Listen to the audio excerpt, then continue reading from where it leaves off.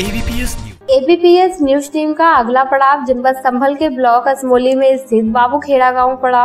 वर्तमान में गाँव के विकास के लिए ग्रामवासियों ने ब्रजकोर को प्रधान के रूप में चुना है। लगभग तीन हज़ार की आबादी वाला यह गाँव जिला मुख्यालय से 45 किलोमीटर दूर। तो वहीं ब्लॉक से इस गाँव की दूरी मात्र 5 किलोमीटर ही है। लगभग 1600 वोटर वाला यह गाँव विकास के पद पर अग्रसर है।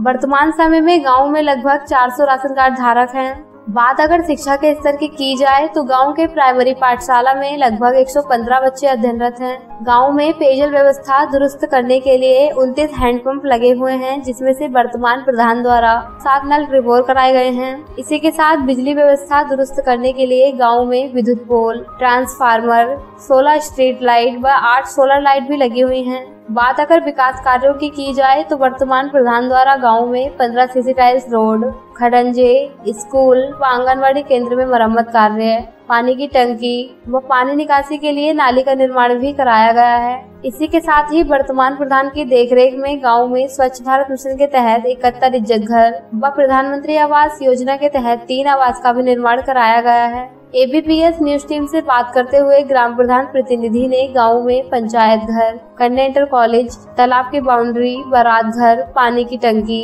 स्कूल की बाउंड्री प्रधानमंत्री आवास योजना के तहत 100 आवास, स्वच्छ भारत मिशन के तहत इज़्ज़त घर सीसी टाइल्स रोड व खडंजे के निर्माण की मांग राज्य व केंद्र सरकार से की है।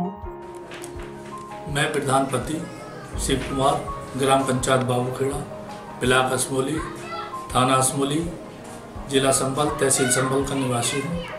मेरी ग्राम पंचायत में जितनी भी धनराशि केंद्र सरकार और राज्य सरकार से आई, मैंने उसका भली भांति संतोषजनक कार्य कराया जिस कार्य की सभी गांववासी देखकर चकित थे कि प्रधान जी ने अपने समय में इतने सुंदर टाइल्स कार्य कराए, उन रास्तों पर कराए, जिन रास्तों पर कभी लोगों से निकला नहीं जाता था। और हमने अपने समय में आठ सोलर लाइट सोलह एसी लाइट पंचायत और इकहत्तर शौचालय और 106 शौचालयों का निर्माण चल रहा है। तीन प्रधानमंत्री आवास हमने बनवाए, जिन लोगों पर कभी रहने के लिए छत नहीं थी, उनके ऐसे आवास बनवाए बहुत सुंदर, बड़े संतोषजनक, बड़े अच्छे ढंग से वो लोग उसमें अब रह रहे हैं। और हमने अपने आंगनवाड़ी केंद्र पर शौचालय बनवाया है।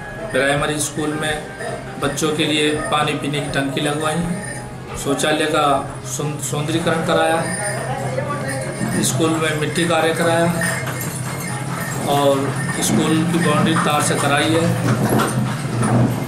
हमें और भी अनेक कार्य हमने ऐसे छोटे कराए हैं, जैसे क्या नल की मरम्मत है, पाँच रिबोर कराए हैं और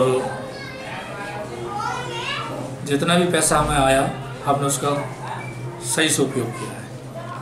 और केंद्र सरकार और राज्य सरकार से आशा रख रहे हैं कि हमारे ग्राम पंचायत को ज़्यादा से ज़्यादा पैसा देकर हमारे जो बचे हुए कार्य हैं, जैसे कन्या इंटर कॉलेज है, पंचायत भवन है, बारात घर है, पानी की टंकी चाहिए हमें, क्योंकि हमारे यहाँ का पानी दूषित हो चुका है। स्कूल की बाउंड्री चाहिए, तालाब की बाउंड्री चाहिए, जहाँ लोगों से निकलना दुशवार हो रहा है।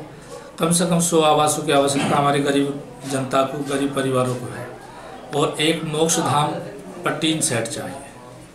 और भी अनेक छोटे छोटे कार्य सरकार हमें दे ताकि हम अपने समय में अच्छा विकास करें। बोलो।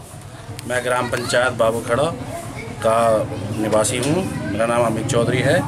और ये जो आप खड़ंजा देख रहे हैं इधर ये कहीं पहले निकला नहीं जाता था तो फिर भी ये हमारे माननीय प्रधान जी प्रधानपति जो है ब्रज कौर देवी जो है उनके पति हैं। इन्होंने ही करवाया है सारे खड़ंजे जितने भी हैं टोटल। ये मैं रामवती हूँ भागू खेड़े की रहने वाली। और जी मेरा मकान बनवा दिया भागू खेड़े में अब पन्नी में रख रही मैं प्रधान जी ने अच्छा कर दिया, बहुत परेशान थी मैं। बस अब जो है, ठीक, बनवा दिया मेरा मकान।